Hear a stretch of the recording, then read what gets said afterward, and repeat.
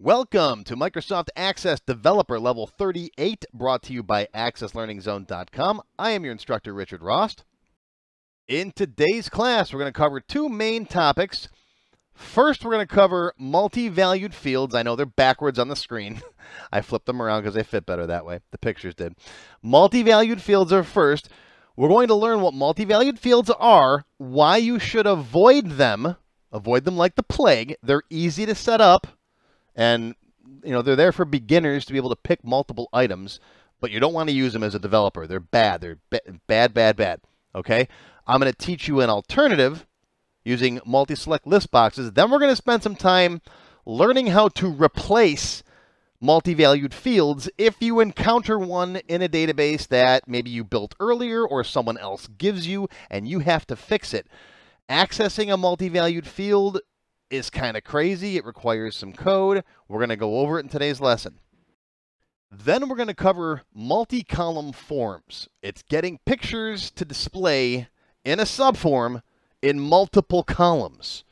And yeah, you could do it easily in reports, but you can't do it in a form unless you know my trick. It's going to involve some record set programming and a lot of cool stuff. Access wasn't designed to do it, but we're going to make it do it. All right, so that's covered in today's class. This class, of course, has prerequisites. I strongly recommend you've taken all my previous classes, beginner, expert, advanced developer. I don't recommend you skip levels. If you want to know why, watch this video on skipping levels. I especially suggest you've taken Developer 15 and 16 where I cover record sets. If you don't know record sets and how they work, you will be lost in today's class. I'm using Access 365. I got a subscription, roughly equivalent to Access 2021 right now. If you got questions pertaining to today's class, feel free to scroll down to the bottom of the page that you're on and post them right on my website. And we'll do our best to answer your questions as soon as we can. And if you got other questions that are particularly not, you know, pertaining to today's class, but you want to ask them anyways, go ahead and head over to the Access Forum. Now let's take a quick look at exactly what's covered in today's lessons. In Lesson 1, we're going to learn about multi-valued fields. What are multi-valued fields, how to use them, and why you should avoid them. This is a free bonus lesson. In lesson two, we are going to learn how to read the data in a multi-valued field with VBA. So we can get at that information that's hidden inside of that multi-valued field. We're going to learn how to read it with a record set and then how to add an item to it. In lesson three, we're going to be pulling that data out of the multi-valued field and putting it into a proper junction table. We'll use my DLOOKUP plus function to display the data that should be shown in the sales reps box on the customer form. And then we'll write the code to actually loop through all of the customer records and rip out that data and put it properly in the junction table. And we'll see how to deal with the object invalid or no longer set error. In lesson four, we're going to create a multi-valued field list box that's multi-select. So when we double click on our sales reps text box on the customer form, it pops this guy up. It will automatically select the records that are in the junction table. We can change it if we want to.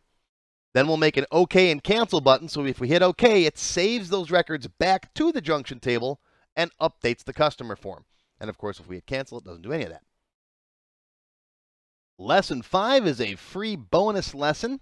We're going to set up a product catalog. Yeah, I'm going to cheat instead of product catalog. It's going to be a customer catalog. It's going to basically be a customer with multiple images per customer. I had a tech help video where one of my students asked me to do a product catalog where it's a product with multiple pictures of a product. I did it with customers because that's the database that I had available. So lesson five is going to be that, and it's going to be a setup for something a little more advanced in lessons six and seven.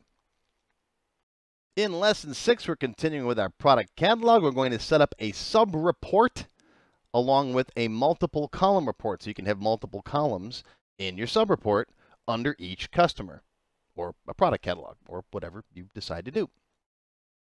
Lesson seven has been what the last two lessons have been building up to. I'm going to show you how to build a form with multiple columns in it. In other words, we're going to display multiple images in a subform that look like they're in multiple columns. You'll see what I'm talking about in just a minute.